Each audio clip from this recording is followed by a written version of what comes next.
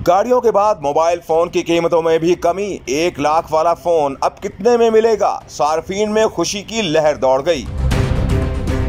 Mobile markets में एक लाख रुपए वाला स्मार्टफ़ोन सत्तर हज़ार रुपए का हो गया।